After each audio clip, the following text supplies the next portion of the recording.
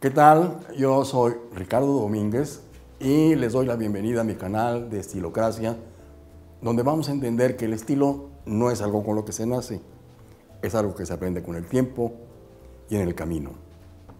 Miren, un, un hombre educado, una persona educada en general, tiene, tiene una buena dicción, sabe cómo pronunciar las palabras y sabe cómo se usan las palabras y qué significa cada una.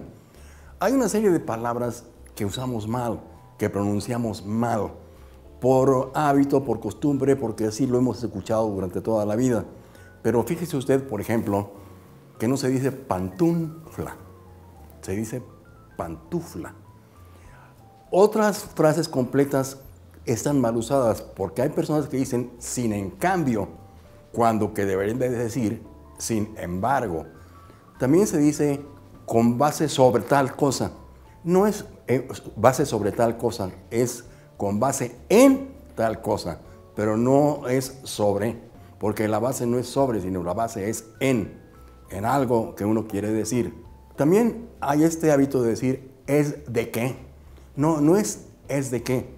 La verdad es, se dice es que tal cosa es así, no se dice es de que tal cosa es así. También dicen muchas veces a fuerzas es a fuerza, nada más a fuerza, fuerza en singular, no es a fuerzas, es a fuerza.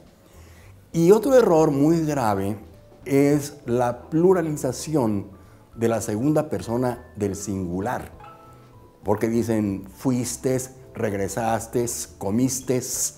No es así, es fuiste, regresaste, comiste. Y el verbo venir se nos complica, porque dicen veniste. Y no es veniste, es viniste. Ese es el pasado del verbo venir en singular y en plural también es veniste. No es veniste, es viniste. Vinimos, no es venimos, porque venimos es presente y vinimos ya es pasado. El verbo negociar es otro verbo que nos pone en problemas. No se dice negocia, no se dice negocio, se dice negocio, negocias, negociamos, negociáis, negocian pero no es negocio, es negocio. Yo negocio contigo tal cosa. No, no, se puede decir yo negocio contigo tal cosa. Eso es incorrecto. Y el verbo haber, ¿qué tal? El verbo haber, haber sí es hasta grave porque no se dice aiga. Aiga está mal dicho, mal pronunciado. Es haya. Que yo haya, que tú hayas, que él haya. Que nosotros hayamos, que vosotros hayáis, que ellos hayan aiga no existe.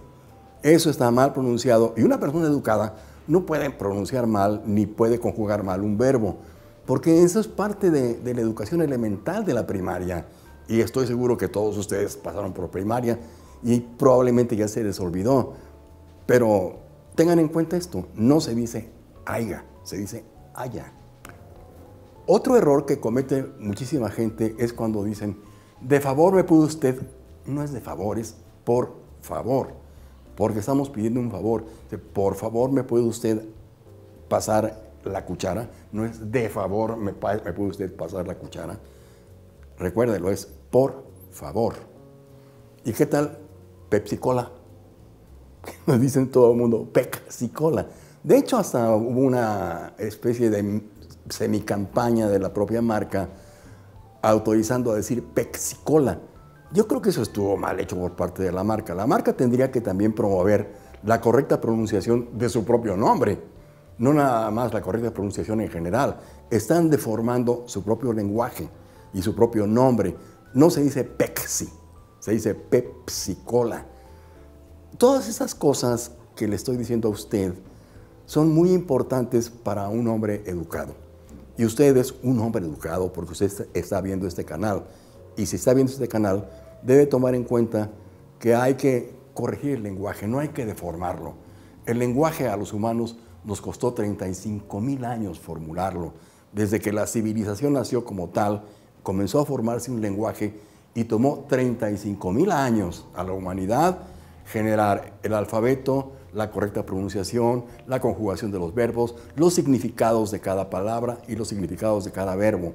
No deformemos un lenguaje porque tengamos en cuenta cuánto tiempo nos costó como humanidad formular todos los diferentes lenguajes que existen en el mundo. Yo creo que hay que tener ese respeto. Y ya que está usted aquí, se lo insisto, seamos hombres respetuosos del lenguaje y de lo que los humanos hemos hecho para llegar a este punto del año 2018 que estamos viviendo hoy en día. Revise usted sus palabras, si tiene duda y no tiene un diccionario a la mano, vaya a Wikipedia. Busque nada más en Google la palabra y enseguida le van a desplegar una serie de datos que le indican cómo debe pronunciarse cada palabra o cómo debe conjugarse cada verbo, con objeto de que usted sea siempre el hombre que habla correctamente, el hombre que sabe respetar el legado de la humanidad para, para que nosotros hoy en día lo disfrutemos. Eso es todo por hoy amigos, muchísimas gracias por su atención y les recuerdo darle like a mi video, suscribirse a mi canal y tocar la campanita para saber que ya hay otro video en el aire. Muchas gracias.